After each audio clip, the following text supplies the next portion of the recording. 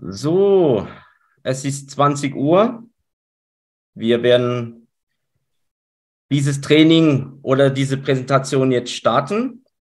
Äh, wir haben heute Abend wieder einen Ehrengast mit uns, der Professor Dr. Peter Dartsch vom Dartsch Scientific, wo uns heute Abend nach dem tollen Training über Alpha und Beta über ein anderes Produkt sprechen wird, das, das Produkt macht in den letzten Wochen wirklich auf, wenn ich sehe, wenn ich sehe, was auf Social Media gepostet wird äh, für Testimonial, ähm, da bin ich mal sehr gespannt, was die Studie jetzt sagt, um, äh, um, um diese Studie da, sagen wir, zu, zu verteidigen oder zu erklären, äh, möchte ich heute Abend unser Ehrengast äh, bieten, jetzt in den nächsten Minuten das Produkt Quantag vorzustellen.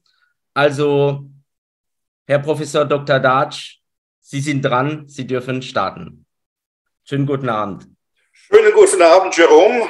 Meine sehr verehrten Damen und Herren, ich freue mich ganz herzlich, heute wieder nach einer Woche, exakt einer Woche zur gleichen Zeit, am gleichen Ort wieder da sein zu dürfen und Ihnen ganz erstaunliche Dinge über ein Armband mit dem Namen QuantArc erzählen zu dürfen. Wir haben hier die biologische Verträglichkeit, also die Biokompatibilität getestet und die Wirkung des Armbandes bei oxidativem Stress.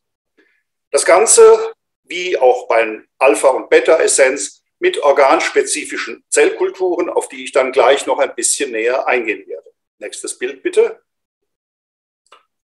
Zunächst einmal möchte ich mich ganz kurz vorstellen ähm, und auch die Firma, das Forschungsinstitut, in dem ich als Leiter, als Direktor und Wissenschaftsmanager tätig bin.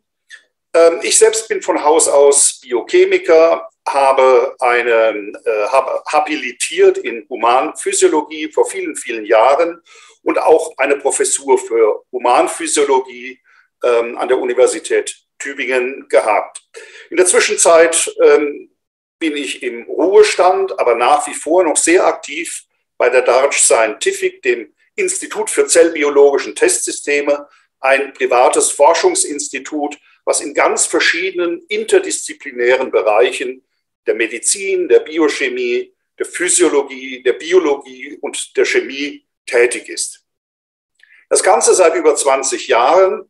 Ähm, und zwar ausschließlich mit tierversuchsfreien Methoden, das heißt mit Zellkulturmodellen, die wir ähm, auch zum Teil entwickeln, zum Teil ähm, bereits entwickelte weiter ähm, etablieren und auf diese Art und Weise Untersuchungen und Vorhersagen über Wirkeffekte äh, von Produkten machen können.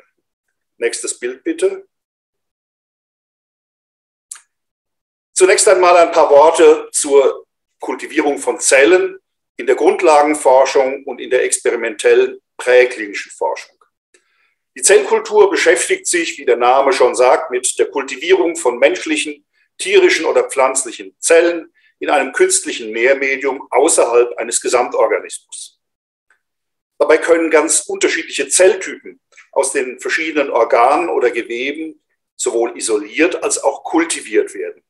Man unterscheidet auch grundsätzlich zwischen sogenannten Primärzellen, das heißt Zellen, die eine, ähm, äh, eine, eine Lebensspanne von nur wenigen Verdopplungen haben, die frisch isoliert wurden, oder auch sogenannten Zelllinien, mit denen man äh, reproduzierbare Untersuchungen, da gibt es keine individuellen Schwankungen wie bei frisch isolierten Zellen, ähm, machen kann, die über äh, viele Passagen, so nennt man das, viele Passagen, wo die Zellen umgesetzt werden in neue Kulturschalen, ähm, äh, durchgeführt werden und so auf diese Art und Weise äh, gleiche Ausgangsbedingungen auch in verschiedenen Labors geschaffen werden können. Die Zellkultur ist in der wissenschaftlichen Community, wie ich hier geschrieben habe, in vielen Bereichen als Ersatz für Tierversuche anerkannt und erlaubt Voraussagen zu Wirkungen in einem Gesamtorganismus oder auch ähm, genauere Untersuchungen von Wirkmechanismen, die ähm, auf diese Art und Weise dazu beitragen können, die Black Box, wenn etwas wirkt, aber man weiß noch nicht genau wie, diese Blackbox äh, ein bisschen mehr Licht in dieses Dunkel hineinzubringen. Diese Zellkulturuntersuchungen können in ihrem experimentellen Design an verschiedene Testsubstanzen oder Gegebenheiten angepasst werden. Das ist der große Vorteil eines Forschungsinstituts, weil wir hier in der Lage sind, genau an uns an diese Gegebenheiten zu richten. Etwas anders sieht es aus, wenn wir nach Norm arbeiten. Das werden wir gleich sehen, wo es ähm, um die Biokompatibilität, also die biologische Verträglichkeit gleich gehen wird. Da muss man entsprechend der Norm testen und diese Untersuchungen auch durchführen. Das heißt, der Spielraum ist hier eigentlich gar nicht mehr gegeben und der Name Spielraum sagt es schon. Hm, manchmal sind tatsächlich Untersuchungen, wo man spielen muss, wo man schauen muss, äh, an welchen Ecken und Kanten man möglicherweise hier ähm, äh, Ergebnisse erzielen kann. Und äh, das kann unter Umständen schon relativ lange Zeit auch dauern. Nächstes Bild bitte. Wie sehen denn die entscheidenden Geräte eines Zellkulturlabors aus? Ich habe das hier mal ganz kurz ein bisschen exemplarisch dargestellt. Auf der linken Seite sehen wir eine sogenannte Laminar Flow. Das ist eine sterile Werkbank. Man muss sich das vorstellen wie so ein Mini-OP mit einem Überdruck. Hier kann man die Flaschen, die Schalen, die Zellkulturgefäße öffnen, schließen, ohne dass man Kontaminationen äh, von Bakterien oder Pilzsporen befürchten müsste. Dann in der Mitte ein ebenfalls ganz wichtiges Gerät ist der Bootschrank. In diesem Bootschrank wird bei 37 Grad Celsius in einer bestimmten Atmosphäre, das hängt wiederum vom Zelltyp ab, hängt auch vom Ursprung der Zellen ab, ähm, wo man hier Zellkulturflaschen und Zellkulturschalen inkubieren kann und durch eine zusätzliche Begasung eine pH-Stabilität bei pH 7,4 erreichen kann. Auf der rechten Seite ein Mikroskop. Klar, die Zellen sind relativ klein, die kann man mit bloßem Auge nicht sehen. Deswegen brauchen wir ein Mikroskop in der Zellkultur. Aber dieses Mikroskop unterscheidet sich von einem normalen, herkömmlichen Mikroskop. Es ist ein Inversmikroskop. Da ist die Optik unten und die Beleuchtung oben. Auf diese Art und Weise, das sieht man ungefähr in der Mitte, haben wir einen, eine, ein Stage, eine, eine, eine, eine, eine Ebene, äh, die ähm, einen sehr hohen Arbeitsabstand erlaubt, weil einfach die Optik von unten kommt. Und hier kann man dann Schalen und Flaschen reinstellen, bewegen, sich die Zellen anschauen. Das funktioniert mit einem normalen Mikroskop nicht. Nächstes Bild bitte. Hier nochmal etwas genauer eine sterile Werkbank zu sehen. Vorne rechts eine Flasche mit Kulturmedium. Das ist deswegen so rot, weil ein Indikator zugegeben ist, ein roter Indikator, der bei pH-Veränderungen entweder ganz äh, knallrot wird oder gelb wird, wenn es ins Saure hineingeht, sodass man auf Anhieb sofort den pH-Wert kontrollieren kann. Dann sieht man links oben eine Pipettiereinheit, die, eine, eine lange Pipette, wo das Kulturmedium ähm, eingezogen ist, sodass man von Schalen und Flaschen von einer in die andere pipettieren kann und natürlich auch die Zellen, wenn man sie mit einer Protease mit Trypsin abgelöst hat, auf die Art und Weise suspendieren kann und vereinzeln kann und so in neue Kulturschalen aussehen kann. Nächstes Bild bitte.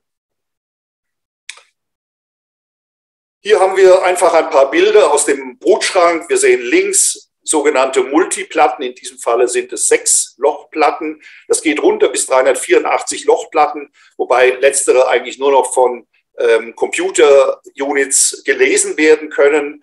Ähm, bei uns ist bei 96 Lochplatten Schluss. Das geht dann auch gar nicht mehr zu pipettieren. Da braucht man Pipettiercomputer und all diese Dinge. Das würde aber bei uns ähm, viel zu aufwendig sein. Dann rechts sieht man Kulturschalen in einer in, einem, in einer Größe von ungefähr 10 Zentimeter, nur zur Vorstellung der Größeneinheit und Zellkulturflaschen, überall das rote Kulturmedium drin. Nächstes Bild bitte. Wir verwenden verschiedene wasserlösliche sogenannte Tetrazolium-Farbstoffe und messen deren Farbumschlag. Wir haben einen Farbstoff, der ähm, ist die Ursprungsfarbe rot und durch Veränderungen im Milieu, sei es durch die Aktivität der Zellen oder die Aktivität von äh, freien Radikalen wird er gelb. Dann haben wir einen zweiten ähm, Farbstoff, der macht einen Farbumschlag von orange nach gelb. Das ist auch hier unten in einer solchen 96-Loch-Platte deutlich zu sehen. Wir haben im hinteren Teil noch keine Reaktion, da ist, der Farb, ist die Farbe orange. Im vorderen Teil ist es gelb, dort haben wir eine Reaktion der Zellen auf diesen Farbstoff, nämlich in Form einer Spaltung. Das Ganze misst man dann äh, links an einem sogenannten äh, Microplate Reader oder ELISA Reader. Das ist im Grunde genommen ein Photometer, wo man diese Platten einlegt und wo dann die 96 Vertiefungen, ähm, die optische Dichte ähm, und damit auch der Änderung der optischen Dichte durch einen Farbumschlag, durch die Spaltung eines Farbstoffes gemessen werden kann. Nächstes Bild bitte. Ich hatte schon eingangs erwähnt, dass wir ein Armband gemessen haben. Jerome hatte das ja auch schon erwähnt mit dem Namen QuantArc. Und hier möchte ich kurz zu den Herstellerangaben zu diesem Armband zu sprechen kommen. Der Hersteller bezeichnet das QuantArc-Armband als ein Hightech-Armband in High-End-Qualität. Es besteht aus Millionen von mikroskopisch feinen Quantensensoren. Diese sind in der Lage, unsere Zellen zu stimulieren und so ihre Vitalität zu erhöhen. Diese Quantensensoren erkennen Veränderungen in den Zellen und senden Impulse für ein besseres Wohlbefinden. QuantArc hat kein Verfallsdatum und verliert nicht an Wirksamkeit. Die bestätigte Wirkung von QuantArc schützt uns vor unerwünschten äußeren Einflüssen, welche unter anderem als Verursacher von oxidativem Stress gelten. Soweit zu den Herstellerangaben, die ich ähm, zum Großteil wörtlich übernommen habe. Und das ist auch der Ausgangspunkt unserer Untersuchungen. Inwieweit sind diese auf den ersten Blick etwas blumig wirkenden Aussagen tatsächlich auch von der wissenschaftlichen Seite her verifizierbar? Können wir das Ganze bestätigen, ähm, was hier als Aussage gemacht wird? Wir haben uns konzentriert auf einmal die biologische Verträglichkeit des Produktes, weil ein solches Armband trägt man auf der Haut und das in der Regel ähm, mindestens zwölf Stunden am Tag oder sogar 24 Stunden am Tag, also individuell verschieden. Ähm, kommt es hier zu irgendwelchen ähm, Veränderungen der Haut? Ist das Produkt biologisch verträglich? Das ist der erste Punkt, den wir angehen werden. Und der zweite Punkt, über den ich berichten möchte, ist, ich habe es hier schon geschrieben, oxidativer Stress, das ist in aller Munde. Viele chronische Erkrankungen liegt oxidativer Stress zugrunde. Und die Frage ist, ist das Quant-Arc-Armband in der Lage, oxidativen Stress, sei es, dass dieser oxidative Stress auf uns wirkt aus der Umwelt, von außen also auf den Organismus, oder sei es aufgrund einer Stresssituation, die wir haben, dass in unserem Organismus äh, vermehrt ein Überschuss an reaktiven Sauerstoffradikalen produziert wird. Auch das ist oxidativer Stress. Nächstes Bild bitte. Hier habe ich, ähm, weil ich es ähm, auch optisch sehr ansprechend fand, einfach ähm, das Quant-Arc-Armband mal fotografiert. Ähm, mit dem haben wir auch unsere Untersuchungen die ich Ihnen jetzt gleich zeigen werde und deren Ergebnisse ich Ihnen gleich zeigen werde, durchgeführt. Nächstes Bild bitte. Ich hatte schon davon gesprochen, biologische Verträglichkeit oder Biokompatibilität. Was ist das? Man bezeichnet in der Medizin Materialien und Werkstoffe als biokompatibel, die im direkten Kontakt mit lebenden Geweben oder Zellen keinen negativen Einfluss auf deren Stoffwechsel und Vitalität ausüben. Jetzt kommt eine Besonderheit, nämlich üblicherweise gilt dieser Begriff nur für sogenannte Medizinprodukte. Also Produkte, die in den Körper implantiert werden, zum Beispiel Zähne, ähm, im Bereich des Bewegungsapparats, künstliche Hüftgelenke, künstliche Kniegelenke, ähm, die aus Kunststoffen, Metallen oder Keramik sind, aber auch Schlauchmaterialien, und chirurgische Instrumente. All diese müssen nach einer bestimmten Norm getestet werden, die ich hier aufgeführt habe. Das ist die DIN EN ISO 10993-5 aus dem Jahr 2009. Die gilt europaweit. Und dort ist der genaue Untersuchungsablauf mit Zellkulturen beschrieben. Interessanterweise erfolgt dieser Biokompatibilitätstest nach dieser Norm ausschließlich mit Zellkulturen, wobei man in der Regel sogenannte Fibroblasten verwendet. Äh, ich habe hier mal als Zelllinie 3T3 und L929 ähm, aufgeführt. Nun ist aber das Quant-Arc-Armband kein Medizinprodukt. Dennoch haben wir die biologische Verträglichkeit dieses Produktes entsprechend der Norm getestet. Ich hatte ja schon gesagt, wenn Sie es ähm, mehrere Stunden am Tag tragen, der Hautschweiß kann unter Umständen unerwünschte Substanzen, die hier noch in irgendeiner Form durch die Fabrikation vorhanden sind, solubilisieren und ähm, der Körper kann es aufnehmen. Deswegen haben wir diese Untersuchungen durchgeführt, um auf diese Art und Weise die Produktqualität und Anwendersicherheit zu gewährleisten. Nächstes Bild bitte. Wie ist der Untersuchungsablauf? Hier in ganz, ganz kurzen Worten nur. Es wurde das gesamte Armband in Kulturmedium für 24 Stunden bei 37 Grad extrahiert oder wie man auch sagt, eluiert.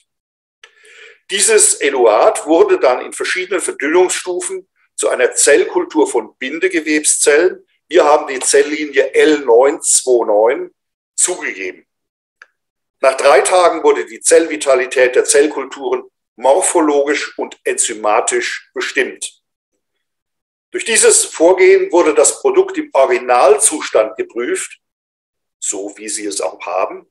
Das heißt, es wurden auch eventuelle Rückstände der Herstellung oder herauslösbare, solubilisierbare Fremdsubstanzen mitbewertet.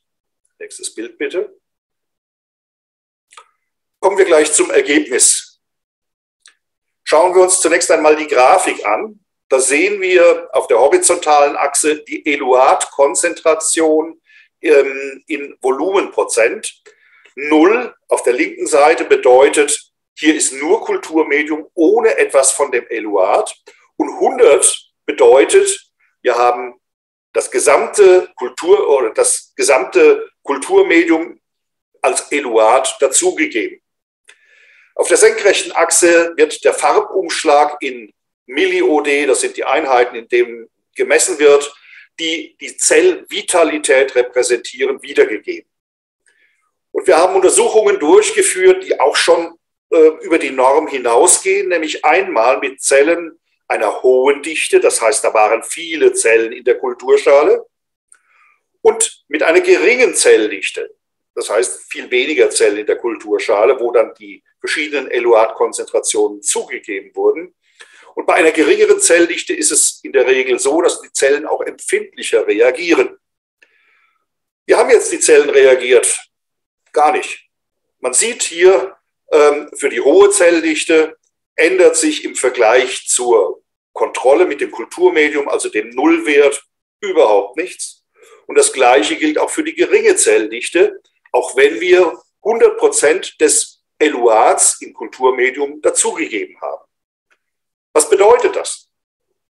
Das Armband ist somit biologisch verträglich. Das heißt, es wurden aus den verschiedenen Materialien keine Substanzen herausgelöst, welche auf zellulärer Ebene eine Schädigung herbeiführen können. In allen Testkonzentrationen hatte der Extrakt keine negative Auswirkung auf die Überlebensfähigkeit und Vitalität der Testzellen. Nächstes Bild bitte. Das sieht man auch hier sehr schön in der Zellmorphologie. Auf der linken Seite sehen wir eine solche Kontrollkultur ohne Eluat. Diese ähm, rundlichen Zellen, die viel heller erscheinen als die, ja, ich sage jetzt mal wie Pfannkuchen auf dem Boden liegenden Zellen, sind Zellen, die sich teilen. Das sind keine abgestorbenen Zellen, sondern das sind Zellen, die sich teilen. Und auf der rechten Seite sieht man das Zellkultur mit dem Eluat, und zwar mit 100 Volumenprozent Eluat vom Quant-Arc-Armband.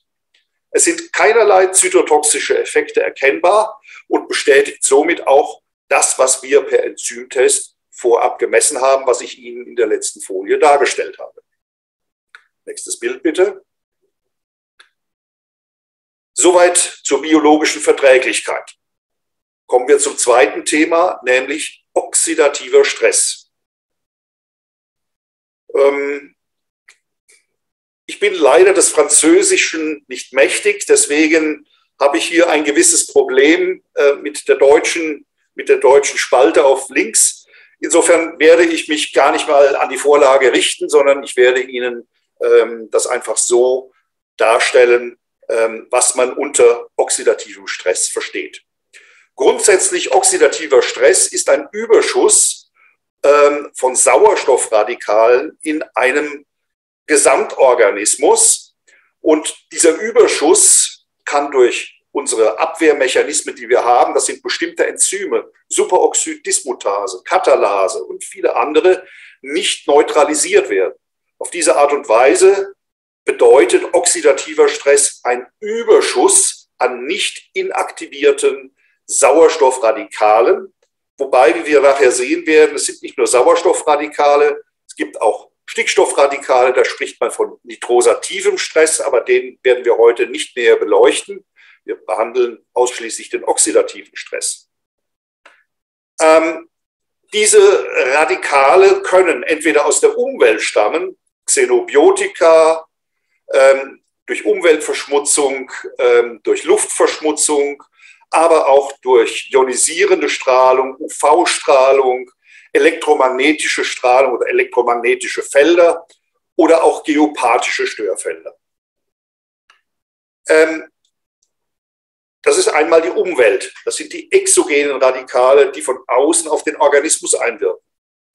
Es ist aber auch möglich, dass wir unter, dass wir einen Stoffwechselzustand haben, zum Beispiel bei Situationen, wo wir Stress haben oder auch bei ähm, Entzündungsprozessen im Gewebe, dass wir hier einen Überschuss an Sauerstoffradikalen haben, die im Falle des Stress durch unseren körpereigenen Stoffwechsel gebildet werden.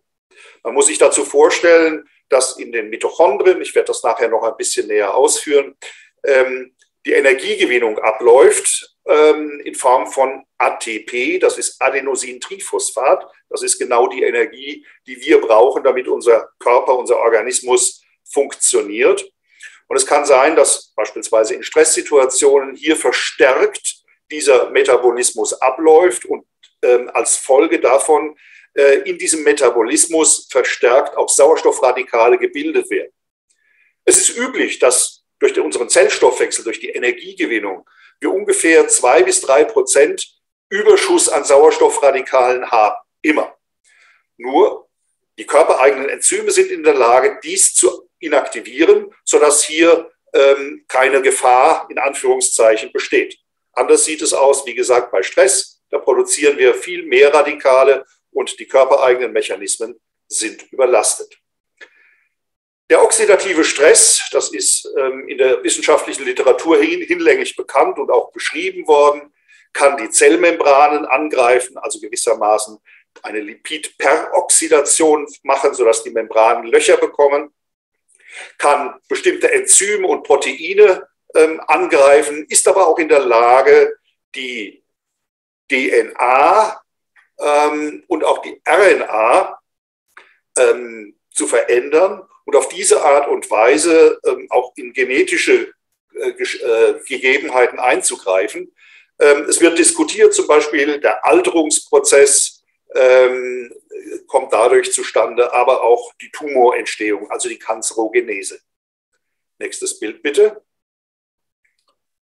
Ähm, ich habe hier das ein bisschen schematisch nochmal dargestellt.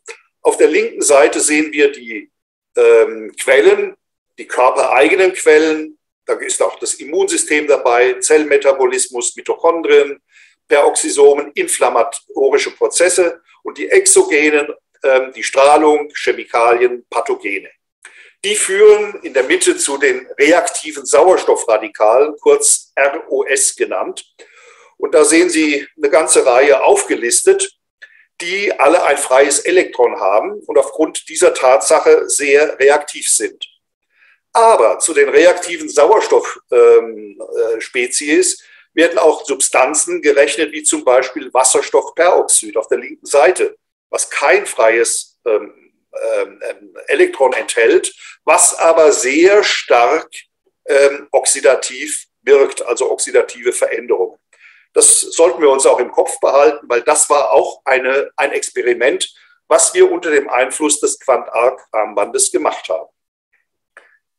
Gehen wir in dem Schema ein Stückchen weiter runter, sehen wir auf der linken Seite Antioxidantien, die dem oxidativen Stress entgegenwirken können und auf diese Art und Weise weniger reaktive oder ein, ein, eine, eine Verminderung der Zahl reaktiver Moleküle bewirken können.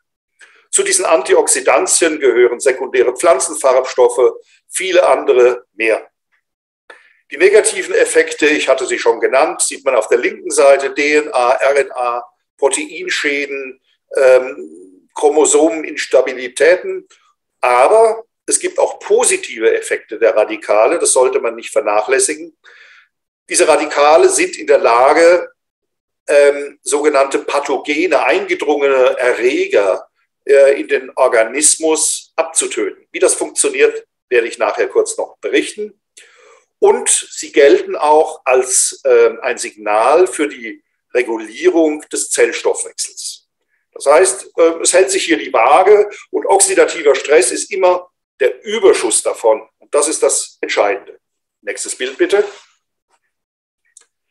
Wie sehen denn zelluläre Veränderungen bei oxidativem Stress aus? A, oben links ist eine ganz normale Zellkultur, das sind die Fibroblasten, die ich eingangs schon erwähnt habe. Man sieht sehr schön dunkel in der Mitte in den Zellkern mit den Nukleoli, das Zytoplasma. Und ähm, wenn man diese Zellen unter oxidativen Stress setzt, indem man Wasserstoffperoxid zugibt, dann sieht man unter B schon nach wenigen Stunden, dass die Zellen anfangen, sich abzurunden, abzukugeln, ähm, dass hier mit dem Pfeil dargestellt plötzlich ähm, apoptotische Zellen auftreten, das heißt Zellen, die in den programmierten Zelltod getrieben werden. Das wird unter C äh, nach etwa acht Stunden noch deutlich verstärkt. Die Zahl der apoptotischen Zellen ist viel größer geworden. Ähm, die Zellen sind nur noch äh, mit einigen wenigen dünnen Ausläufern äh, mit dem Boden der Kulturschale verbunden. Und unter D, das ist dann nach 12 bis 24 Stunden, hängt natürlich von der Konzentration ab, sehen wir hier, äh, dass eigentlich nur noch Zelltrümmer, Zellschrott herumliegt. Ähm, da lebt nichts mehr, da ist alles mehr oder weniger tot. Jetzt ähm, möchte ich ganz kurz ähm, darauf hinweisen, dass hinter mir, ähm, ich weiß nicht, ob das zu erkennen ist, rechts hinter mir steht, das, steht ein Mikroskop, dieses Inversmikroskop. Vielleicht kann man mich da so einblenden, dass man das auch sehen kann.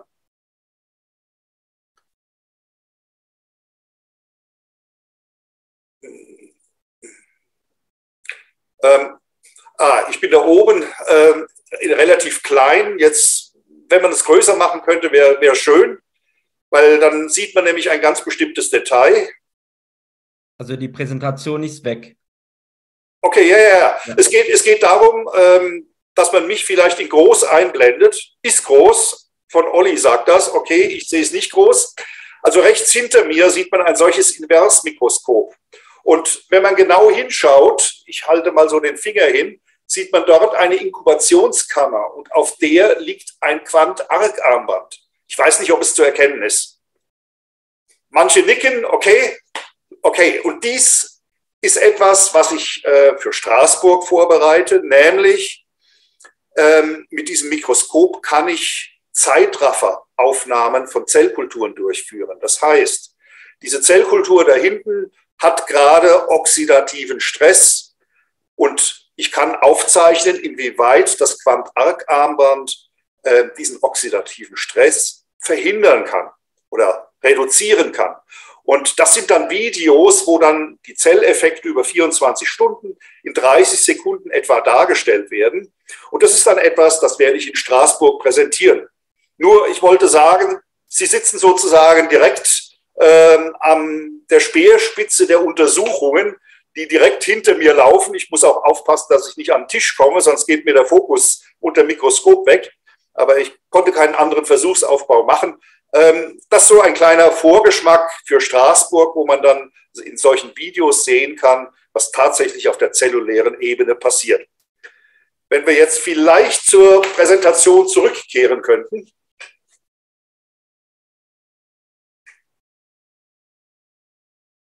Okay, super. Dann nehmen wir das nächste Bild bitte. Kommen wir zunächst zu den oxidativen Stress durch freie Radikale in der Umgebung. Diese Bindegewebszellen, Fibroblasten, die wir verwenden, wurden durch die Zugabe von verschiedenen Konzentrationen Wasserstoffperoxid einem künstlichen äußeren oxidativen Stress ausgesetzt. Auf diese Art und Weise haben wir geprüft, ob die gleichzeitige Anwesenheit des Quant-Arc-Armbands einen kompensierenden Effekt hat. Untersucht wurde danach äh, die Vitalität der überlebenden Zellen, und zwar nach 24-stündiger Exposition, durch einen Test, welcher die Enzymaktivität in den Mitochondrien quantifiziert.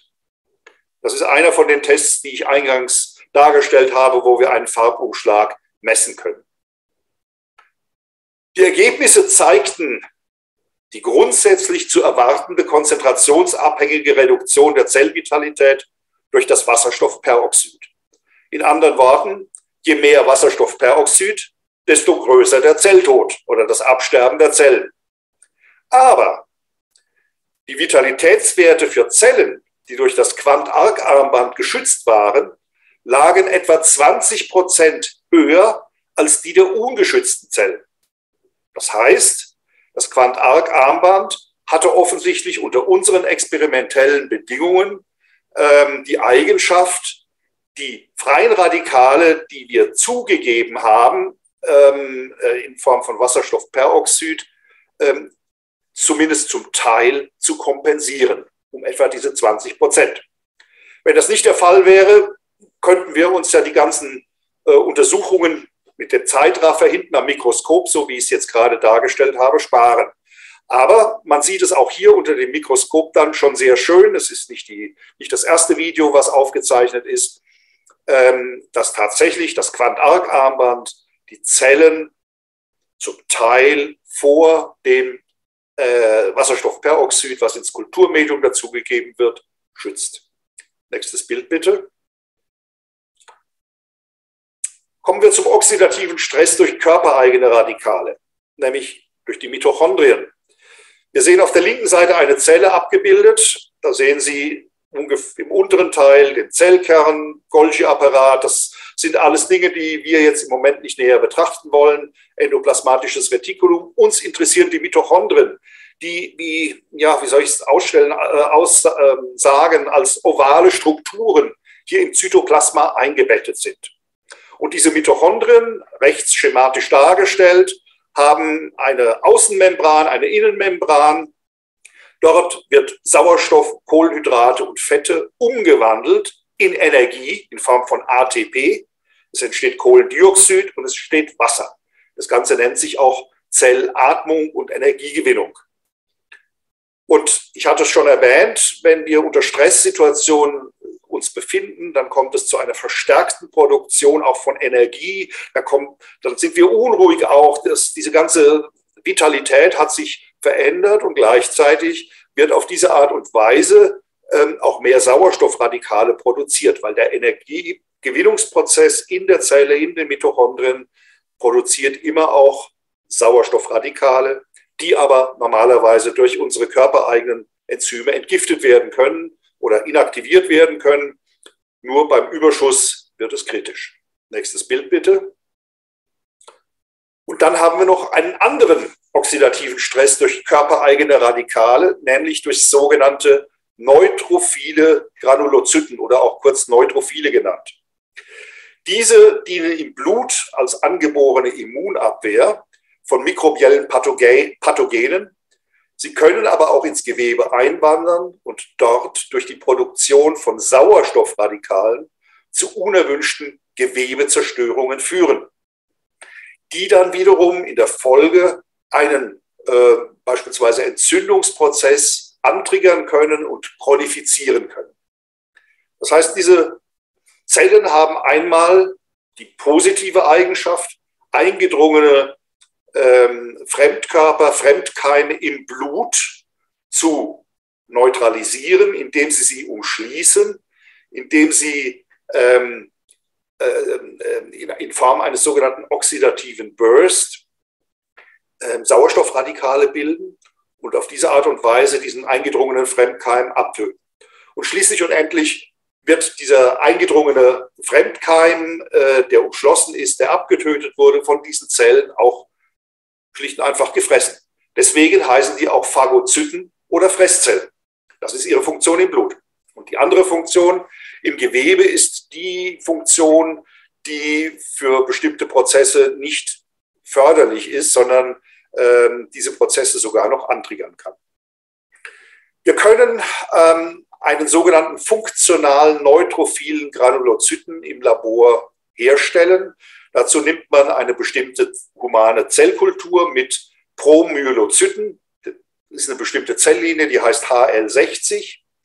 Und die kann man durch die Zugabe von Dimethylsulfoxid, hier abgekürzt als DMSO, in Form von fünf bis sechs Tagen mit einer bestimmten Konzentration differenzieren zu funktionalen neutrophilen Granulozyten, also Zellen, die nach einer Stimulation durch einen Forbolester in der Lage sind, in Form eines oxidativen Bursts Sauerstoffradikale zu produzieren. Also genauso wie die Zellen, die im Gewebe eingedrungen sind. Und auf diese Art und Weise kann man natürlich testen, inwieweit Wirkstoffe welche diese endogen gebildeten Radikale entgiften können, tatsächlich wirksam sind. Auch wieder über einen entsprechenden Testessay, wo man einen Farbumschlag messen kann, der äh, in Relation steht zu der Anzahl der hier gebildeten Radikale durch diese Zellen. Nächstes Bild bitte. Hier habe ich noch mal ganz kurz erläutert, was so ein oxidativer Burst ist. Auf der linken Seite sehen Sie ähm, ganz kurz dargestellt, Sauerstoff plus Wasser reagiert unter dem Einfluss eines bestimmten Enzyms zu Superoxid. Das ist O2-. Da fehlt sogar noch ähm, hier auf der Grafik das, äh, das einsame Elektron. Und das gehört zu den reaktiven Sauerstoffspezies. Ähm, und das wird von den Zellen selbst nach Stimulation gebildet. Auf der rechten Seite sieht man, wie so ein äh, neutrophiler Granulozyt in Natura aussieht, äh, bildet auch die Haupt, den Hauptanteil der weißen Blutkörperchen. Nächstes Bild bitte. Wir haben dann ähm, Untersuchungen durchgeführt, inwieweit das Quant-Arc-Armband in der Lage ist, diesen endogenen oxidativen Stress, der nach ähm, Stimulation dieser Neutrophilen äh, produziert wird, zu vermeiden.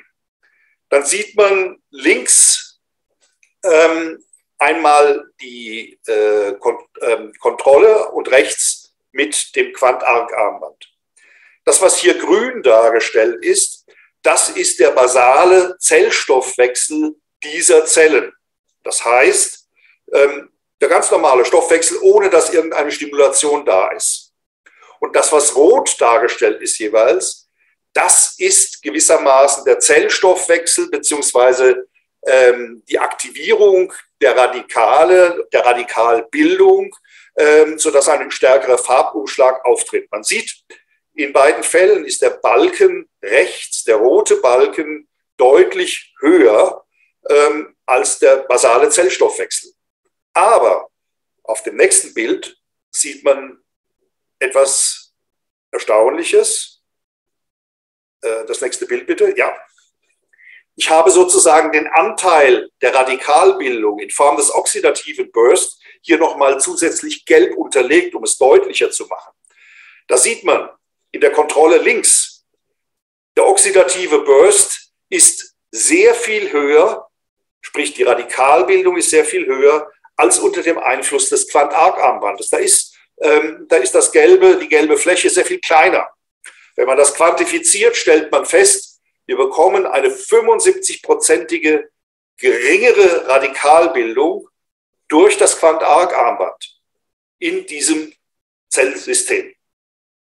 Und das finde ich außerordentlich bemerkenswert und erstaunlich. Nächstes Bild bitte. Damit möchte ich zusammenfassen. Die Ergebnisse der Untersuchungen zeigen das große Potenzial des Quant-Arc-Armbands, die Wirkung von einem Überschuss an Radikalen, also oxidativer Stress, zu reduzieren. Dabei spielt es keine Rolle, ob die reaktiven Radikale aus der Umgebung, sprich Umwelt der Zellen stammen oder von ihnen selbst gebildet werden. Zudem wurde das Quant-Arc-Armband und seine verwendeten Materialien als biokompatibel getestet. Und das hat, wie auf dem nächsten Bild zu sehen, zu einem Testzertifikat geführt, ähm, was auch in verschiedenen Sprachen verfügbar ist, wo das, was ich Ihnen hier ähm, dargestellt habe, nochmal in einigen wenigen Worten ähm, dargestellt wird. Letztes Bild bitte. Vielen Dank für Ihre Aufmerksamkeit. Ich freue mich immer, wenn ich hier, hier sein darf und Ihnen über die neuesten Forschungsergebnisse bei uns berichten darf. Vielen herzlichen Dank.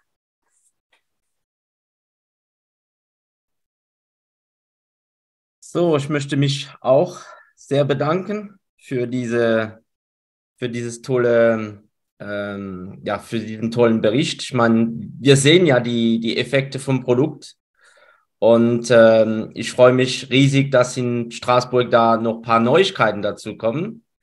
Äh, also der, wo jetzt noch kein Ticket hat für Straßburg, definitiv auf januli.com und das Ticket sichern. Ähm, also nochmal, ähm, Herr Professor Dr. Datsch, nochmal vielen, vielen Dank. Ähm, ich weiß, wir bekommen jedes Mal ein riesen, riesen äh, Feedback auf die, auf die Trainings von Ihnen. Äh, der Kundenservice wird auch ein paar Fragen äh, an Sie weiterleiten von den, von den Vertriebspartnern, weil wenn wir jetzt die Fragen jetzt öffnen würden, dann hätten wir die ganze Nacht wahrscheinlich Fragen und Antworten. Äh, deswegen soll das über den Kundenservice gehen und wir fassen das dann in eine E-Mail an Sie äh, zusammen. Okay. Sehr gerne. Ähm, wie ich schon sagte, ich bin gerne immer hier und berichte über die neuesten Untersuchungsergebnisse. Und ich freue mich jetzt schon auf Straßburg. Und auch dort haben Sie dann die Möglichkeit, meine sehr verehrten Damen und Herren, mich äh, sozusagen in vivo im richtigen Leben und nicht nur vor einem Computer sitzend ähm, zu erleben und können mir dann auch, ähm, wenn die Möglichkeit besteht, ähm, auch gerne die eine oder andere Frage stellen. Ähm, zum Essen sollte ich aber auch noch kommen in Straßburg. Das müsste auch noch, das müsste auch noch klappen. Keine Angst. Jo, das kriegen wir alles hin. Vielen Dank. Also vielen Dank nochmal und schönen Abend an alle. Tschüss. Danke gleichfalls. Tschüss. Tschüss.